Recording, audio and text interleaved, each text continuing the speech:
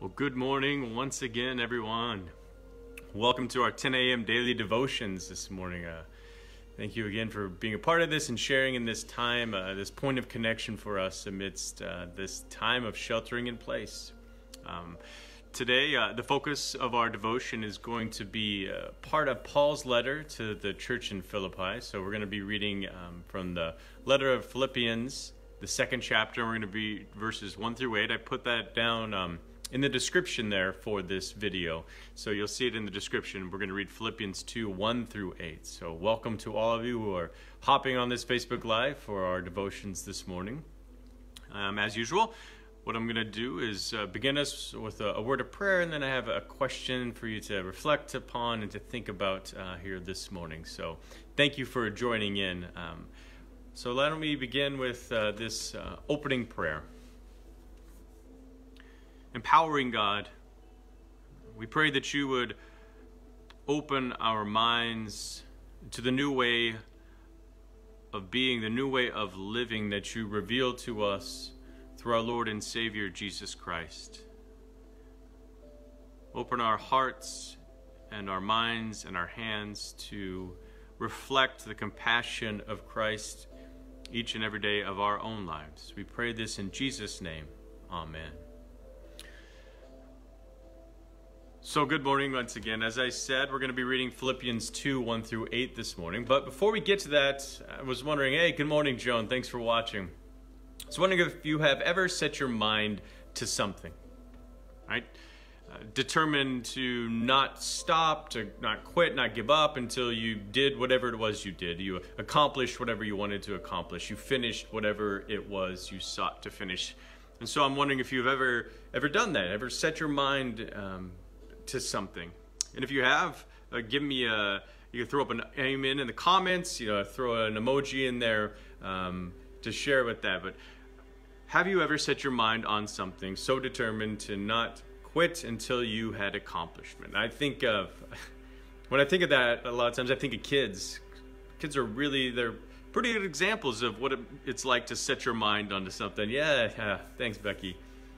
Whether it's, uh, figuring out how to get onto the counter to get up into the cookie jar, uh, whether it's to figure out how to, you know, get this little puzzle piece that they're working on to fit, you know, that square peg, which hole is it going to fit in? Good morning, Laura. Thanks for watching. Kids are, are great examples of, of being determined to setting their mind to finish and accomplish whatever it is that they are working on. And so, uh, likewise, you probably have had that same experience of setting your mind on something. And so, I've been thinking about during this this time where we're sheltering in place. Uh, you know, what what have you been setting your mind to? And if you are so uh, encouraged, I would invite you. Good morning, Lowell. Good morning. Welcome. Thanks for being here.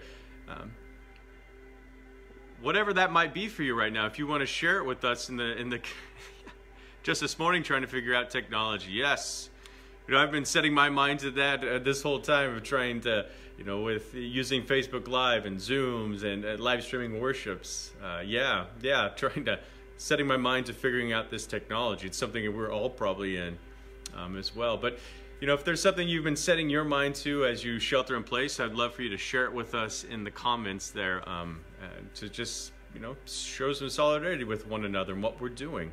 Um, but as a as I read this with you, as I share this uh, piece of scripture with you, I want you to, to reflect upon what it means to set our mind to something. And so, um, like it says in the description, we're going to be reading Philippians 2 1 through 8. I encourage you to grab a Bible as I share this, uh, this story from Scripture with you.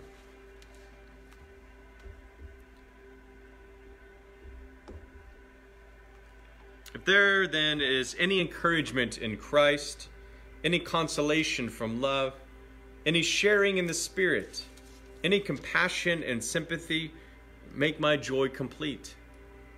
Be of the same mind, having the same love, being of full accord and one mind. Do nothing from selfish ambition or conceit, but in humility regard others as better than yourselves. Let each of you look not to your own interests, but to the interests of others. Let the same mind be in you that was in Christ Jesus, who, though he was in the form of God, did not regard equality with God as something to be exploited, but emptied himself, taking the form of a servant, being born in human likeness, and being found in human form, Jesus humbled himself and became obedient to the point of death, even death on a cross.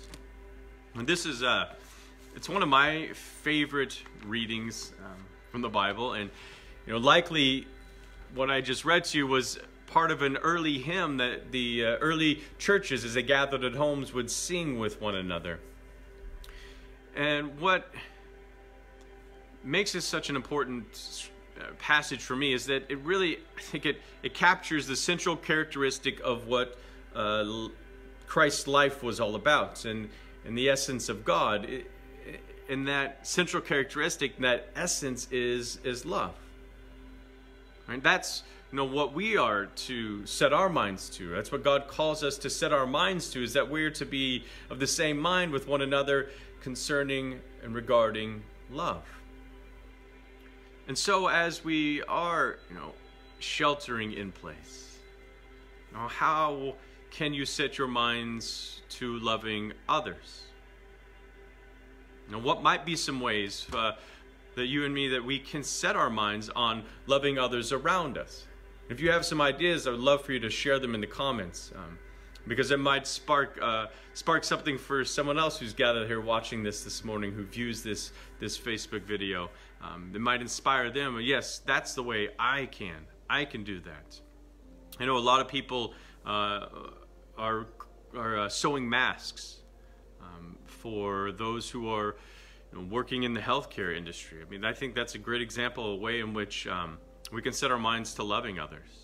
Another way, uh, you know, it doesn't maybe seem like it is, but I think it, it it's a great way to show our love towards one another and, and towards others out there.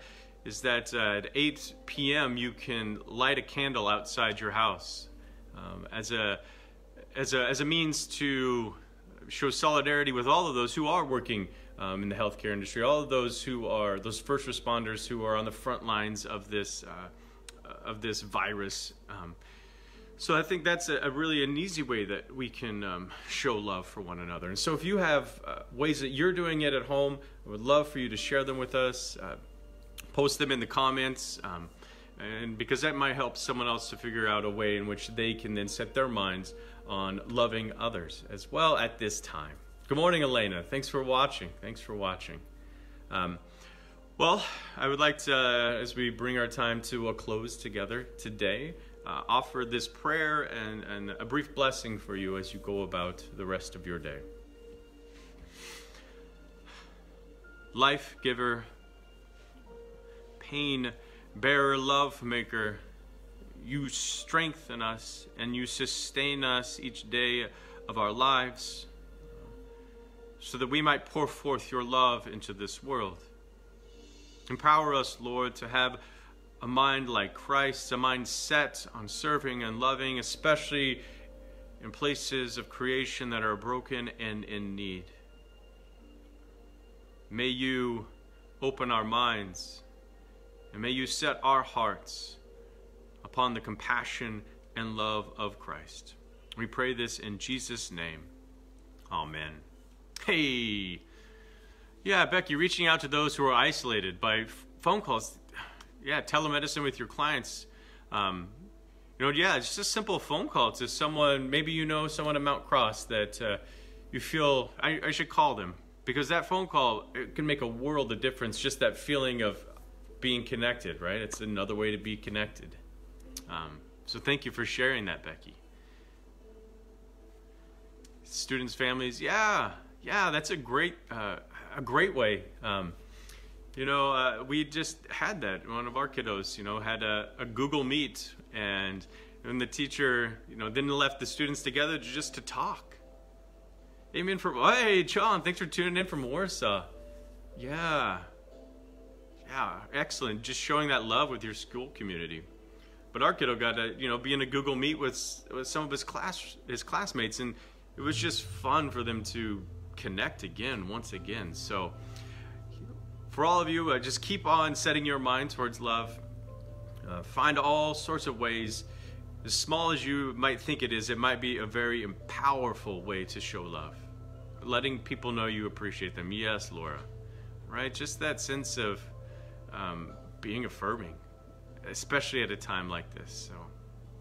Yeah, there you go. See, we're getting all these ways in which we can continue to uh, to set our minds on Christ's love and to be able to show that and share that, even from our, our, our, own homes, right? From from our living rooms, we can still do this. So thank you all for being here, for sharing in this time with me this morning. Uh, I hope all of the of the rest of your day is blessed and uh, that the sun will shine as, most, as as much as possible this morning. So God bless you all and peace.